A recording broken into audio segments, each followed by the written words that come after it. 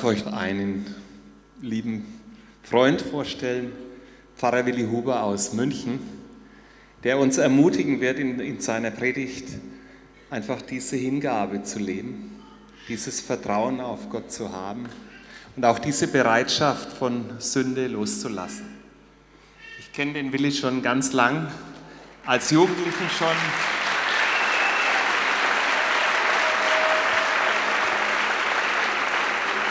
Und habe einfach immer bewundert, wie geradlinig er seinen Weg hinter Jesus hergegangen ist.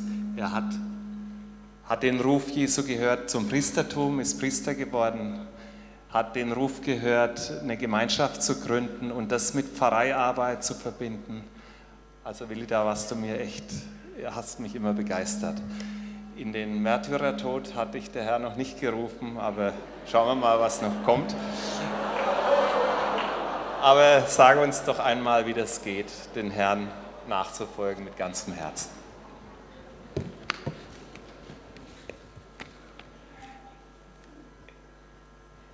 Ich freue mich, dass ich hier reden darf, liebe Schwestern und Brüder, und ich möchte einfach zuerst erzählen, was im letzten Jahr für mich das bewegendste Ereignis war. Ich durfte dabei sein beim Abschluss des Priesterjahrs in Rom, zu dem Papst Benedikt eingeladen hatte.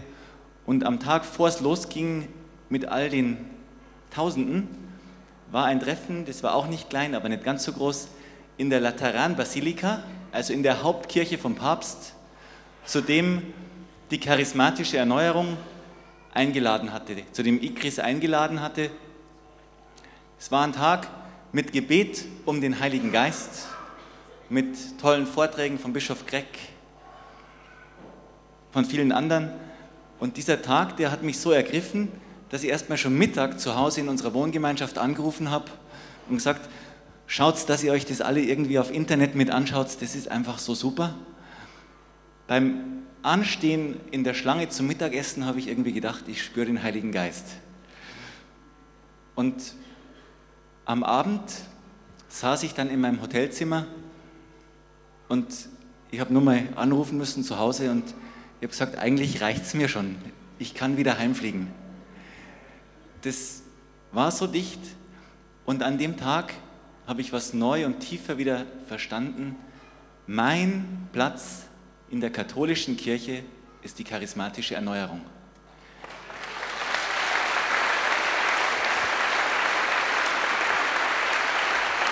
Genau, das war da in dieser Lateranbasilika, Luftballons in der Kirche vom Papst und freudiger Lobpreis und gerade auf dem Hintergrund von dem, was wir heute früh gehört haben, dass manche immer noch sagen, die charismatische Erneuerung ist eine Sekte. Das war das Gegenteil. Die charismatische Erneuerung ist im Herzen der Kirche angekommen.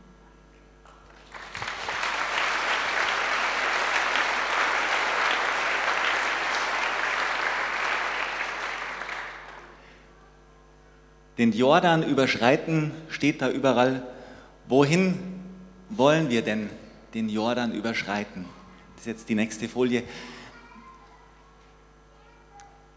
Die Worte, die Jesus seinen Jüngern vor seiner Himmelfahrt mitgegeben hat und die jetzt diese Tage bis Pfingsten bestimmen, ich glaube, die zeigen auch das Ziel, das gelobte Land, das Gott für uns hat.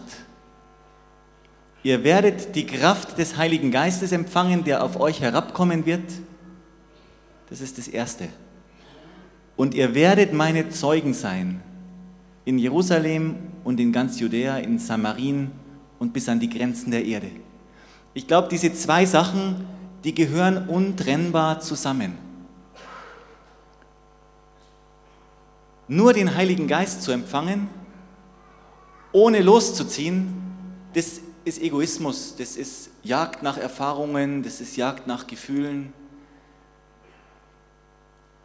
Nur loszuziehen, um für Jesus zu arbeiten, das ist in kürzester Zeit ausbrennen und nichts bewegen. Die zwei Sachen gehören zusammen, so wie auf der Herfahrt mit unserem Bus haben wir Rast gemacht an einer Haltestelle und da standen, ich glaube, 50 oder 100 von diesen Trucks. Da gibt es die Vorderteile, die haben, glaube ich, so 1000 PS oder vielleicht mehr oder weniger. Da gibt es die Vorderteile und die Hinterteile, wo die Sachen drin sind. So ein Vorderteil mit 1000 PS, das nützt nichts, wenn hinten nichts drinnen ist oder nichts dranhängt. Dann ist es nur Spaß und Selbstvergnügen für den Fahrer. So einen Anhänger mit weiß nicht wie viel Tonnen Ladung zu bewegen, ohne dass da vorne PS sind, geht gar nichts. Jesus sagt, ihr werdet die Kraft des Heiligen Geistes empfangen und ihr werdet meine Zeugen sein. Und ich glaube, Jesus fragt mich und euch heute Abend, wollt ihr beides? Wollt ihr beides? Wollt ihr den Heiligen Geist empfangen? Wollt ihr brennen für mich? Wollt ihr mein Feuer in euch tragen? Und wollt ihr auch losgehen, meine Zeugen sein? An dem Platz, wo ich euch hingestellt habe und wo es vielleicht unbequem ist, meine Zeugen zu sein, oder auch dort, wo ich euch hinschicken werde. Und es kann sein, es ist nach Uganda oder bis an die Grenzen der Erde. Wollt ihr das? Den Jordan überschreiten, das heißt auch bereit sein. Jesus, ich bin bereit, in dieses Land zu ziehen, das du mir zeigen wirst, auch wenn ich es noch nicht kenne. Und ich glaube, unsere Situation ist ähnlich mit der vom Josua. Und darum ist das, was Gott uns heute sagen will, glaube ich, das Ähnliche und das Gleiche, was Gott dem Josua gezeigt hat und dem Volk, als sie am Ufer des Jordan gestanden sind.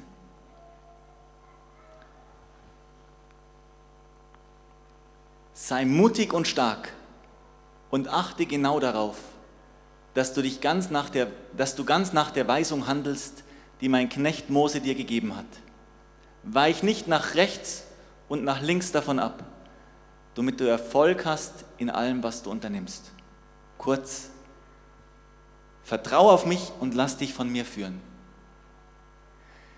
Das am Jordan stehen ist ein bisschen auch meine Situation. Ich weiß seit ungefähr einem halben Jahr, dass ich im Herbst eine neue Pfarrei, nicht nur eine, nimm zwei, dass ich zwei Pfarreien leiten soll ab Herbst. Und es beginnt was Neues. Als ich diese Nachricht sicher gewusst habe, habe ich es per E-Mail in unserer Gemeinschaft rundherum geschickt und halt zu allen weitererzählt.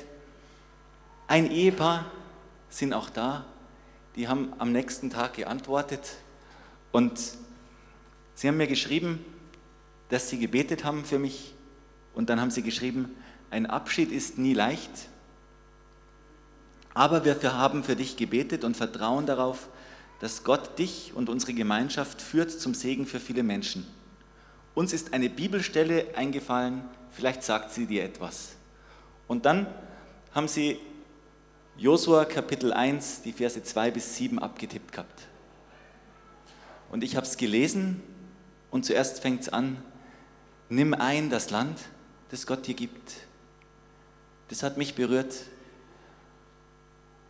Und dann kam diese Stelle im siebten Vers, die hat mich am meisten berührt.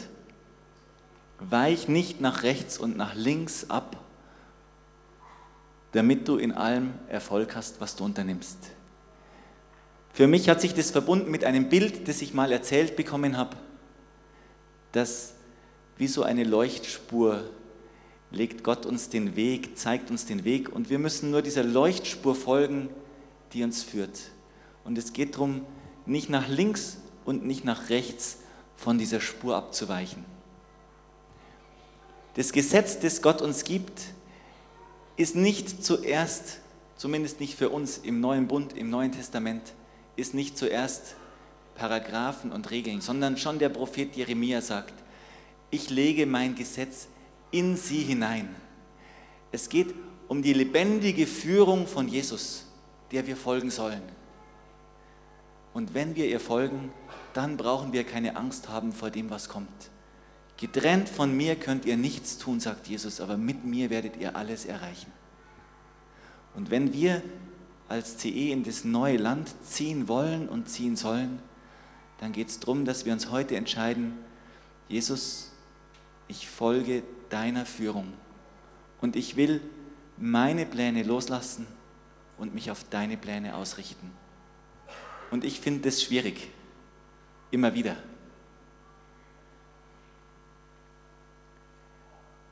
Ich glaube, eine Grundvoraussetzung, damit uns das gelingt, Jesus zu folgen und nicht abzuweichen, eine Grundvoraussetzung dafür ist, dass wir uns immer wieder entscheiden, Jesus den ersten Platz im Leben zu geben.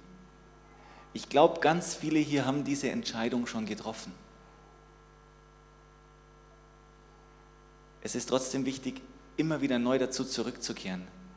Ich möchte ganz kurz erzählen, wie es bei mir zum ersten Mal so richtig existenziell war. Eigentlich habe ich Mathematik und Informatik studiert. Und eigentlich wollte ich entweder Lehrer sein und möglichst viele Ferien haben oder in der Wirtschaft möglichst viel Geld verdienen. Das waren so meine Ziele. Und heiraten wollte ich auch, das war klar. Dann war ich in Meiningen bei einem Glaubenskurs mit dem Pater Kosmas Laumanns, der damals noch gelebt hat. Und er hat gesagt, man kann nicht einfach so in den Glauben reinwachsen. Man muss sich irgendwann mal ganz bewusst entscheiden, dass Jesus den ersten Platz hat.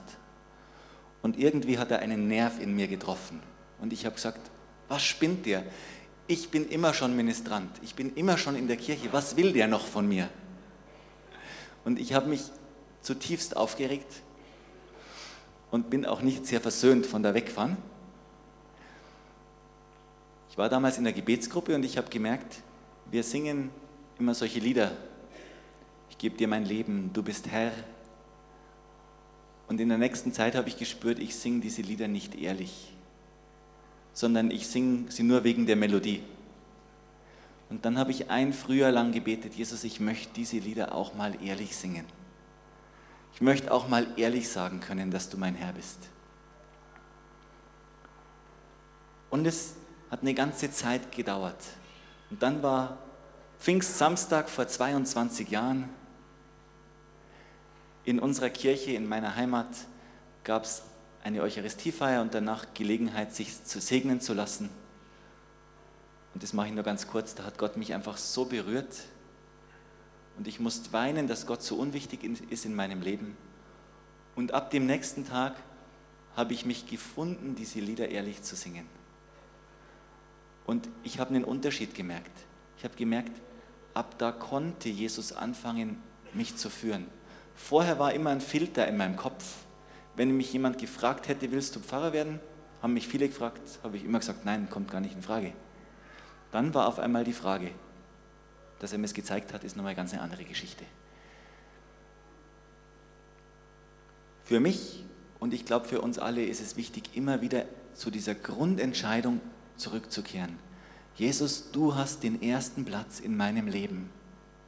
Und dir will ich folgen. Du darfst mich führen, wo immer du mich hinführen willst. Als Katholiken feiern wir diese Grundentscheidung in jeder Osternacht, wenn wir unser Taufversprechen erneuern. Und ich finde, man sieht es auch beim Josua. Der Josua war dabei in der Wüste als Mose stellvertretend für Gott mit dem Volk den Bund geschlossen hat.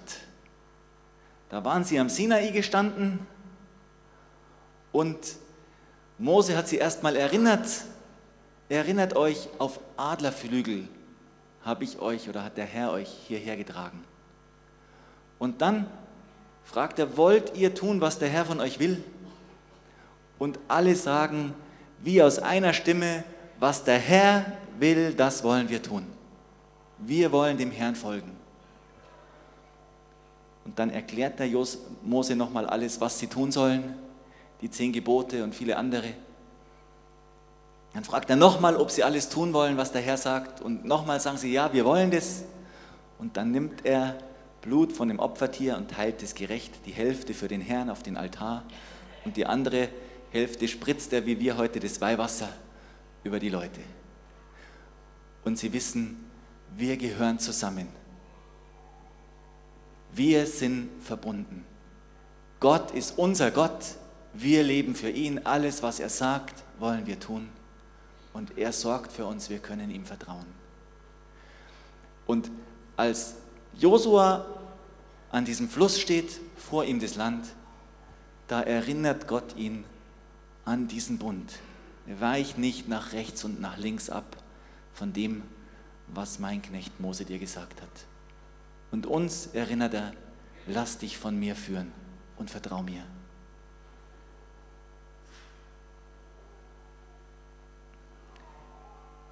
Wenn man das Taufversprechen ganz kurz zusammenfasst, dann ist es einfach, widersagst du dem Bösen, widersagst du den Verlockungen des Bösen, widersagst du dem Satan, dem Urheber des Bösen. Und dann dreht man sich gleichsam um, schaut weg vom Bösen, schaut hin zu Gott und sagt, Vater im Himmel, auf dich setze ich mein Vertrauen.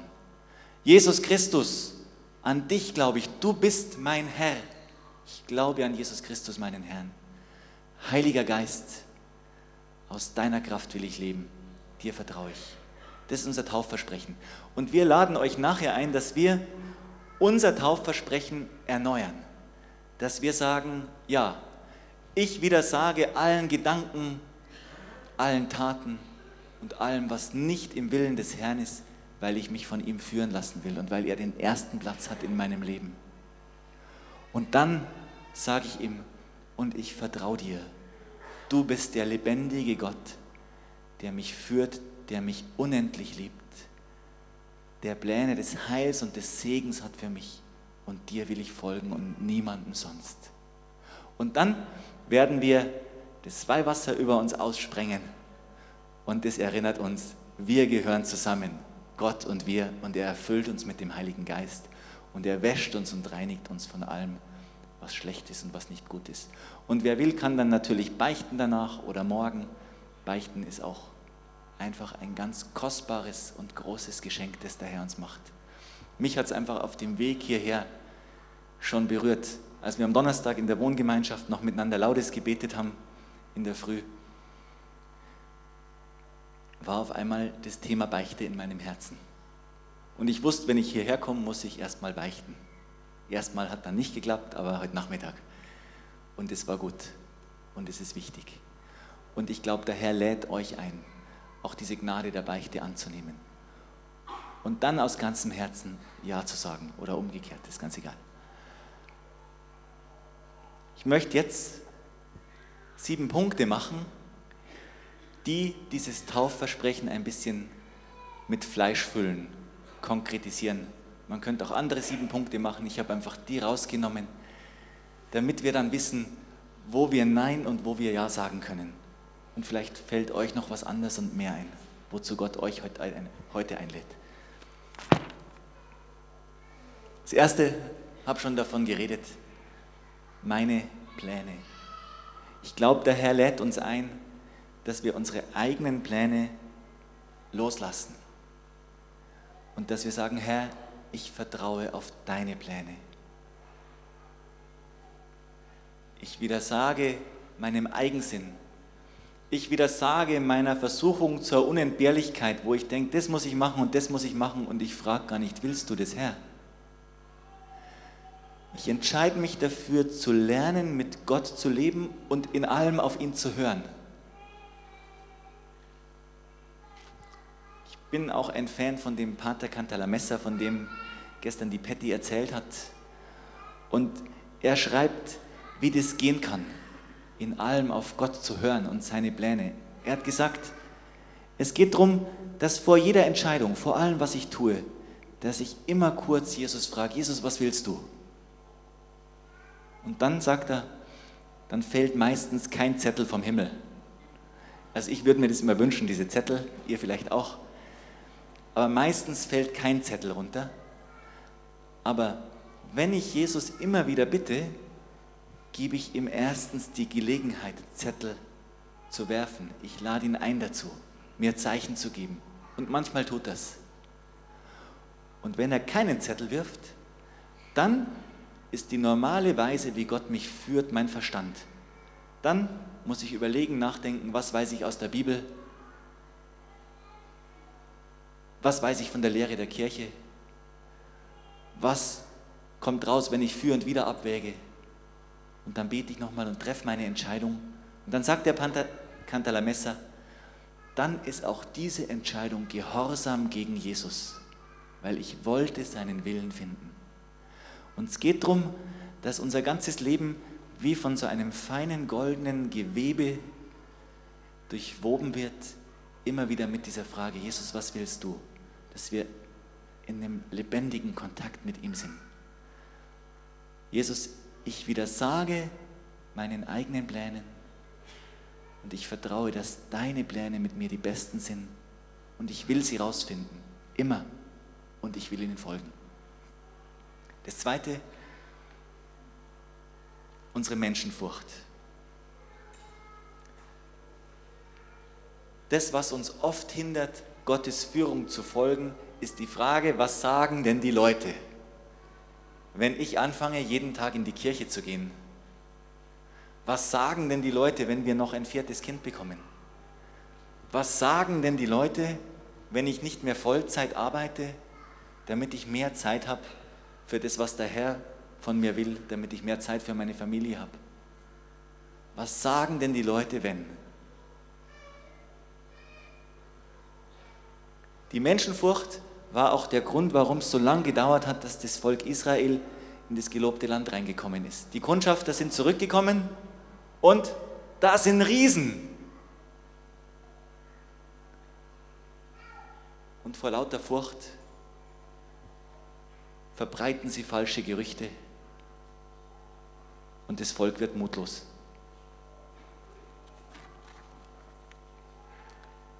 Glaube, Jesus lädt uns ein, heute das zu sagen. Herr, ich widersage der Menschenfurcht. Herr, ich will nicht auf das schauen, was die Menschen von mir denken. Herr, ich vertraue dir. Auf dich will ich schauen. Du wirst mich führen. Man muss Gott mehr gehorchen als den Menschen, hat Petrus nach Pfingsten ganz ohne Menschenfurcht vor dem Hohen Rat gesagt. Ganz eng mit dieser Menschenfurcht hängt das nächste zusammen. Sogar Riesen haben wir gesehen, ich habe schon gesagt, und sie verbreiteten falsche Gerüchte. Kleinglaube und negatives Reden des anderen den Mut nimmt. Ich glaube, es besteht ein Zusammenhang zwischen meinem Vertrauen auf Gott und dem, wie ich rede. Muss es jetzt schon sein in unserer Diözese mit diesen Pfarrverbänden? Hätten wir doch noch fünf Jahre warten können, sagen die Leute zu mir. Dann wären sie jetzt noch da geblieben. Dann kann ich anfangen zu jammern und zu jammern und alles ist schlimm und die Bischöfe sind schlimm und die sollten das ganz anders machen, dann ging es der Kirche viel besser. Aber das bringt mir nichts und das bringt den Leuten nichts. Und das ist auch nicht mein Glaube, sondern mein Glaube ist, dass der Herr sagt, und ich will dir das Land geben, in das ich dich führen werde. Und ich glaube, für die Pfarrei, wo ich weggehe, hat der Herr ein gutes Land bereit. Und ich glaube, für jeden von uns hat der Herr ein gutes Land bereit. Und es ist die Frage, auf was schauen wir? Es gibt genug Grund zu jammern und zu meckern überall.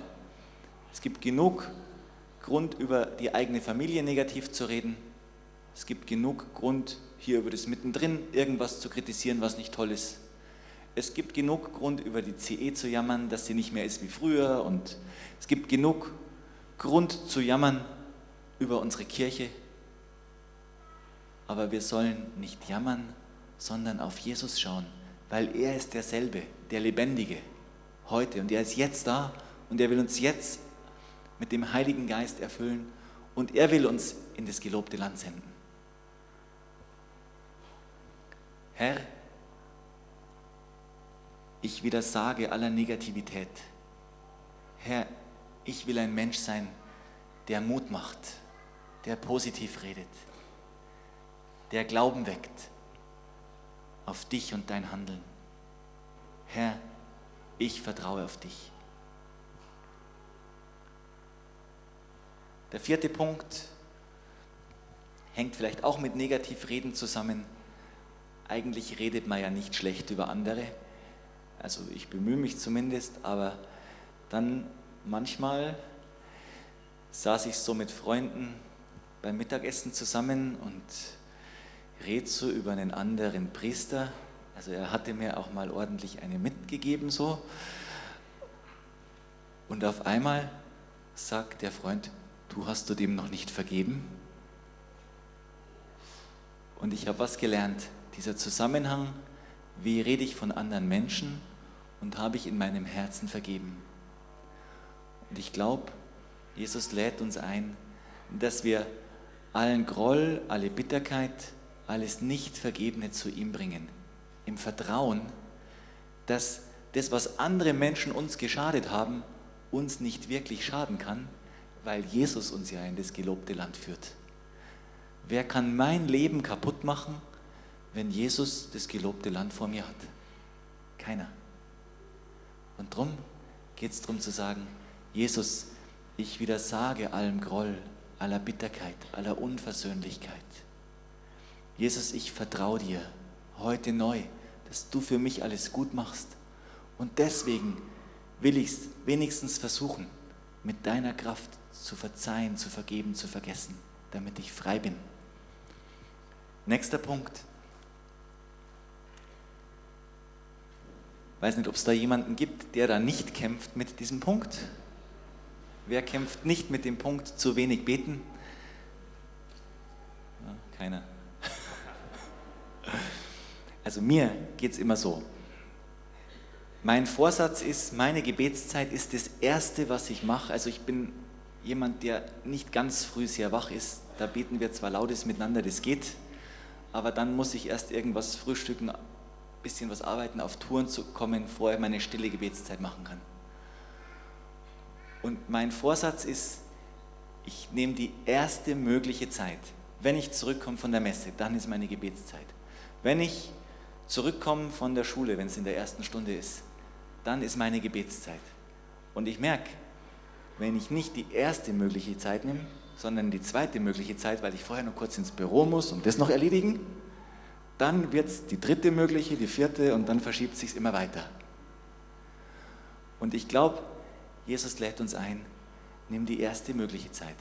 Weil, wenn du willst, dass er dich führt, wenn ich will, dass er mich führt, dann brauche ich die Zeit der Stille, wo ich seine Stimme hören kann. Wenn ich will, dass er mich den Weg durch dieses Land leitet, dann brauche ich das Hören auf ihn. Und deswegen ist es wichtig zu sagen, Jesus, ich widersage allen falschen Prioritäten allem verschieben. Jesus, und ich will der Zeit mit dir, dem Gebet, den ersten Platz einräumen. Jesus, ich will dem Gebet nichts vorziehen, weil ich weiß, nur wenn ich auf dich höre, dann schenkst du mir Segen. Noch ein Beispiel von mir. Oft denke ich, Mensch, und jetzt brauche ich noch eine Predigt und jetzt brauche ich das noch. Und oft ist die Erfahrung, wenn ich erst die Gebetszeit mache, dann erledigt sich irgendwas von selber die Idee für die Predigt kommt oder wie auch immer. Jesus segnet es, wenn wir dem Gebet den ersten Platz geben. Der sechste Punkt, das ist ein Thema, das hat unsere Kirche im letzten Jahr, glaube ich, tief in die Wüste geführt. Falsch gelebte Sexualität. Sexualität ist eines der großen Geschenke von Gott. Und der Verzicht auf gelebte Intimität in der Ehelosigkeit ist auch ein Geschenk von Gott. Und ich glaube, nicht nur für Leute, die ehelos leben, ist es immer neu eine Herausforderung, meine Sexualität ganz auf Jesus auszurichten und sie nach seinen Geboten mit ihm und im Blick auf ihn zu leben. Und ich glaube, das Antizeugnis. Nicht nur das Antizeugnis, das von dem tragischen Missbrauchsfällen herkommt, sondern das Antizeugnis von jeder Form von Sexualität, die wir als Christen und vor allem auch wir als Pfarrer nicht nach Gottes Plan leben, hindert uns als Kirche in das gelobte Land einzuziehen, macht uns unglaubwürdig. Und ich glaube, wenn wir das wollen, dass wir glaubwürdig sind, dann lädt Jesus mich und uns alle ein. Herr, auch diesen Bereich unseres Lebens, den stellen wir ganz unter deine Herrschaft. Jesus, ich widersage aller gelebter Sexualität, die nicht deinem Willen entspricht. Jesus, ich widersage allen Versuchungen und Gedanken, die nicht von dir sind, die nicht der Reinheit und der Würde entsprechen, die du jedem Menschen geschenkt hast. Jesus, und ich entscheide mich heute neu für ein Leben in Heiligkeit, in Liebe, in Respekt und Ehrfurcht vor jedem Menschen und nach deinen Geboten. Und ich glaube, wir können heute diese Märtyrer aus Uganda bitten, dass sie für uns beten, dass das gelingt, nicht nur für uns, sondern für unsere ganze Kirche, um Erneuerung in diesem Bereich. Der letzte Punkt. Meine größte Sünde war, dass ich aufgehört habe, Gott zu vertrauen. Hat mir mal eine Frau gesagt, die tief in die Esoterik reingerutscht war, obwohl sie Christin war. Meine größte Sünde war, dass ich aufgehört habe, auf Gott zu vertrauen. Und wenn ich nicht mehr auf Gott vertraue, dann füllen andere Dinge diese Lücke und dann vertraue ich auf meinen Geldbeutel. Geld ist nicht das Wichtigste im Leben, aber es beruhigt ungemein. Irgendwie setze ich doch mehr Vertrauen auf das Bankkonto als auf Gott. Irgendwie hat sich da was verschoben. Dann setze ich auf einmal mehr Vertrauen auf meine Karriere als auf das Fragen, Herr, was willst du? Wie viel Zeit soll ich für dich investieren? Wie viele Kinder sollen wir kriegen?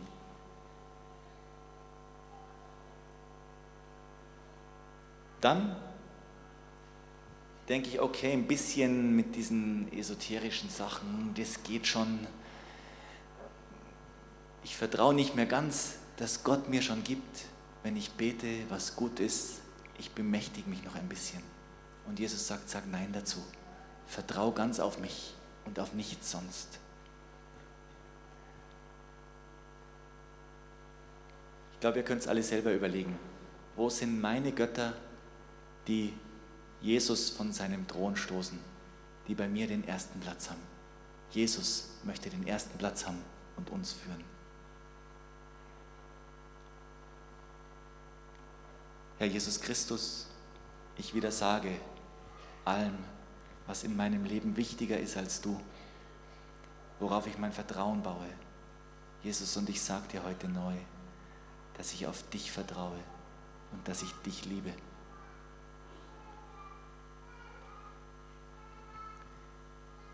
Kehrt um und lasst euch taufen. Dann werdet ihr die Gabe des Heiligen Geistes empfangen, sagt Petrus am Pfingsttag. Und für uns gilt heute diese gleiche Verheißung kehrt um, sagt neu, Jesus, du hast den ersten Platz, dir vertraue ich. Nützt die Gelegenheit zur Beichte. So öffnen wir unser Herz und Jesus kann Großes an uns tun. Und er kann uns in das gelobte Land führen. Ich möchte schließen mit einem Satz, den unser Bischof in München zu zitieren liebt, immer wieder und wieder und wieder.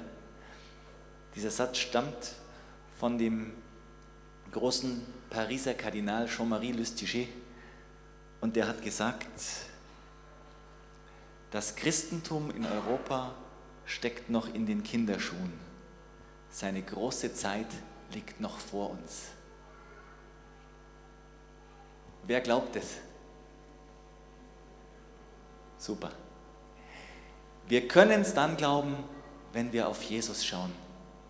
Wir können es dann glauben, wenn wir auf seine Macht und Größe schauen. Weil was Gott tut, ist unendlich. Wir kriegen Zweifel, wenn wir auf uns schauen, auf die Probleme schauen. Es ist wie mit Petrus, der übers Wasser geht.